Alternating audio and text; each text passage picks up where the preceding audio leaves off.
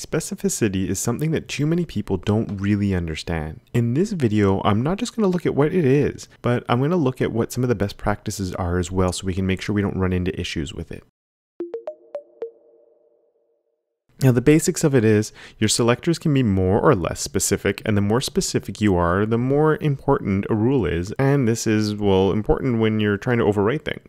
So to understand specificity properly, we also need to make sure we understand the cascade. And uh, so what we're going to do is I'm going to jump over to here and we can see that my body has a color of white on it. So all of my text is white. And if I come down here and I write body and I switch this, so I do color to blue, all of my text is going to change over to blue. And then if I switch this body color pink, all of my text is going to switch over to pink. So it's always the last rule that wins. So right now I'm not being any more or less specific. It's just going, okay, here's my body, my color's white. Oh no, here's my body, my color's blue. Oh no, here's my body and my color's pink. So because all of those have equal specificity, that none of them are really, it's just the last one that wins. There's no other importance to them, so the last one wins. Um, so you might sometimes also hear that um, there's an order of importance between an external style sheet, an internal style sheet, and inline style. And that's sort of true, and it sort of follows with the cascade a little bit. So here I have uh, all of this, and you can see my body actually has a background on here. Whoops, my body's background's down here because I was going to use this for something else. Um, so we're going to just focus on that. So here's a greenish color on my body. And if I come over onto here, I also have an internal CSS style uh, in the tag here, and that one has this yellowish background on it. But the one that's currently winning is this inline style. I'm going to talk a little bit more about inline styles later on, but if I take this inline style off and I save, my internal CSS is winning. But this isn't because the internal CSS is more important. This is falling down to the cascade. It's a little bit different when I had my uh, inline style over here. But for internal CSS like this, if I just take my external file and I move it below this and save, you can see that now this one is winning because it's reading this rule, then it's reading this rule. And you could sort of say, well, then when it's an inline style, it's just going in order. It's reading this one, then it's reading this one, and then if there's an inline style, it's reading that one. That's the last one, and that one wins. But it gets a little bit more complicated than that, because right now we're just dealing with things being all the same value. Let's get our red background, because it's a bit easier to see everything. It's a bit bright, but that's okay. Um, so if we come back over to here, and right now I'm using my body and other things. So I could also do a P and we could say color is green and my paragraphs will change to green. So here both my body and my paragraph, these are just tag selectors. So I'm selecting all my paragraph tags or my body tag. This is the lowest level of specificity you can get. Now I could also overwrite this green style by writing in div p and saying color is yellow and then that nice yellow color comes in right there. Um, so this is looking for all of my paragraphs inside a div, and you'd probably never actually write something like this, but it's still there. And if we come and look, it's I'm um, just, just to show you, we have our paragraphs that are inside a div. Now the difference here is if I take my color green and I actually put that down underneath. So first I have this one and then second I have this one. When I save this file and it updates, it's not actually changing over here. And I'll just show you, I'll refresh just to make sure, and it's still yellow. So this green one is getting ignored. And it's because this is being more specific than this. This is a paragraph inside a div. So this is more specific than just looking at all of the paragraphs on my site. So because of that, this rule, no matter where it is, is always going to win over this rule. Now, you'd probably never actually write div space p, right? That just seems a little strange. Um, you'd probably target something if you really wanted something specific by uh, using a class. So if we get rid of, and in this case, I have a class of definition and a class of source. So let's go and grab my definition over here, and we're just going to do it up here, and I'm going to put dot definition, and we're going to say that the color on this, let's make it a little easier on the eyes, is black. Not blank, black. And even though this is coming before this one and before that one, this one is winning now. And the reason this one is winning is classes are considered more specific than tags. Now to help you understand uh, what's actually going on here, let's open up a calculator that shows us what we can do. So the link to this is in the description below if you want to come and play with this. And you can see here, it's this little calculator. So um, if you have things that are competing against each other and you want to know what's going to win, you can use this to help you figure it out. Um, and this is a really nice visualization. So you can see here elements, which is just our div and our p, these tags like that. Um, these are elements and also pseudo elements. They're worth sort of one point. We're going to see why it's not exactly one point, but it's worth this level of um, points. And then a class is worth in this area here.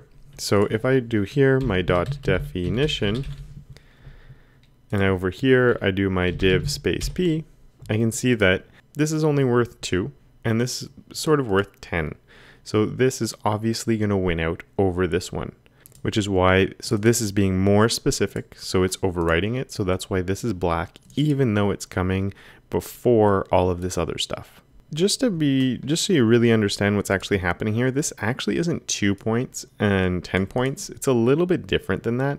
So just to, to help show you this um, i'm going to take a look at example now of something i never want you to ever find yourself in so this is the situation that I never want you to find yourself in, and I don't think you ever will be. But let's just go take a look at um, how this would work. So here I have my selector for my 15 divs, and so let's go and change this. We'll say uh, the color here is going to be pink. And you'd think this would be worth 15 points because it is 15 uh, element selectors. And that would be sort of right. But here if I do a color of blue, this still wins. So what's going on exactly? Well, what's happening is um, these points always just add up in this column. So you could have a hundred divs, a thousand divs, it doesn't really matter. One class attribute is going to overwrite whatever crazy selector you've just come up with. Now this is super bad practice and I hope you're never doing stuff like that. Um, but it's just to say a lot of people see this as like one to nine and then all of a sudden this is 10 points. It's not exactly true even though for the most part you can see it like that because it should never happen that any of these get past uh, a couple of of uh, values. You know, you don't want something that's overly nested or selected in an overly nested way. Um, now, as you can see here on the calculator, IDs are worth more than classes, and that makes more sense because IDs are more specific than a class. But in general, we want to avoid IDs. They're adding an extra layer of specificity to our documents that we don't really want to have to fight with. Because as soon as um, I do something on this ID, I can't overwrite it with a class, um, or I can't overwrite it pretty much without doing anything. Um, and that, it can be really annoying with stuff like that. So just, um, I think you get the idea of what's going on. But here, if I have my dot source, color is green, and then my ID of source color is yellow um, it's it's going to get the yellow color on there.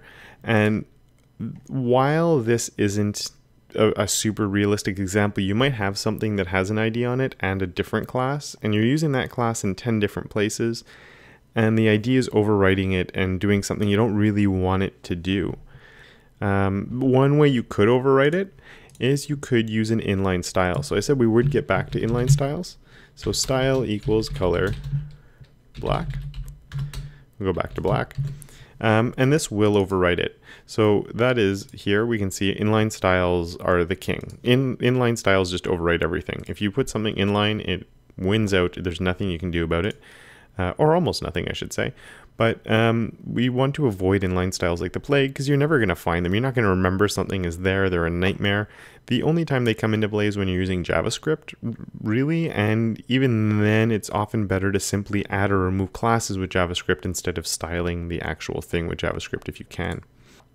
Um, one way you can overwrite anything pretty much is with the important. So if I come on my paragraph here and I say this green is important, Oh my good, look, they all changed. Even the one that had the inline style on it here down at the bottom. Well, how did that happen? The important pretty much means this is more important than everything else. So no matter what happens, it needs to override everything.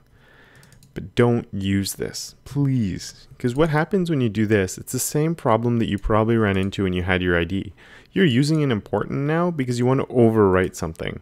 Now, it probably isn't on a paragraph thing like this, but I see it a lot where you might have a class of like green, and you want to make sure that the color on this is used and you need to overwrite stuff because you have selectors that are just more complicated and adding this isn't working. So you go and you do something like that and you add the important. But then you get to your source and you really want the source to be yellow, but there's something that's important that's getting in the way. Well, you can still overwrite it because once you put important on something, I can come down here and add important. And now your whole specificity war starts over again. So you have your paragraph, important, is being overridden by my source, which is important. And important just causes problems. If, if you're having to use important, it means see if you can think of a better way to write your code. There are times when maybe it can be used, and there's always an exception to every rule, but oh, well, you, you, if you're using important, you better have an amazing reason for using it because for the most part, you shouldn't have to use it. It's something that should not be needed because you should be writing nice, simple CSS. And the simple way to stop from running into issues with specificity don't use paragraphs, uh, don't use element selectors if you don't have to. Now, paragraph is one I use because you have lots of paragraphs on your site.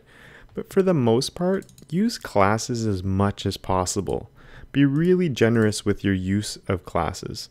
So I really, really would have something like this. Um, if I wanted these two to be styled differently, I would definitely have a class of definition and a class of source on these two paragraphs so I could style them separately like this. And then I can control these paragraphs exactly how I want. I would probably have a class of title on this if it's the title of my page so I can select it with a class. By doing that, you're keeping the level of specificity the same across the board you don't have to use um, nested selectors. So if I wasn't using classes on things, often you'd end up having a div class and you'd want to select something inside of there. So you'd have your div, which, you know, you can't just go div. So in that case, you would actually have a class. So say you have like a section one, and in there you might have an H2. So you have to select it like this because you're not using a class and you want to make a special change to that. I could have my section one and have all my styling for that. And then I could have my section one title. And then this title is something that I'm styling separately if that really needs its own styling for it.